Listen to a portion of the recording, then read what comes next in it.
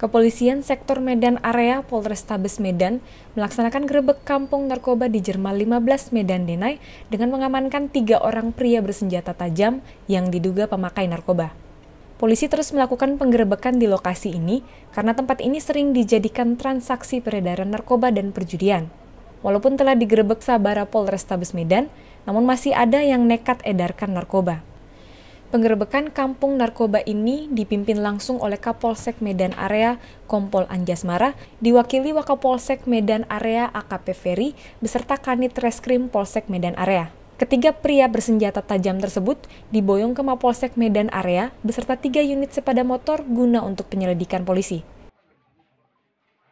GKN, Kampung Narkoba, yang mana eh, kemarin telah dilakukan penindakan oleh Sat Sabara Polrestabes Medan.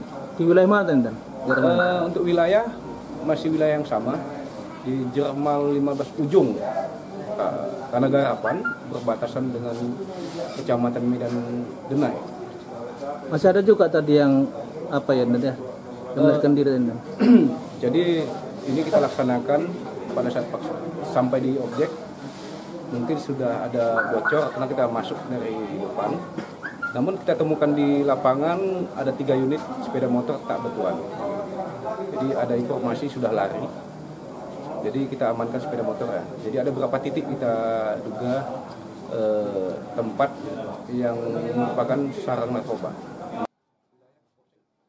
Dari Medan, Sumatera Utara, Zak Ahmad Tribrata TV, Salam Tribrata.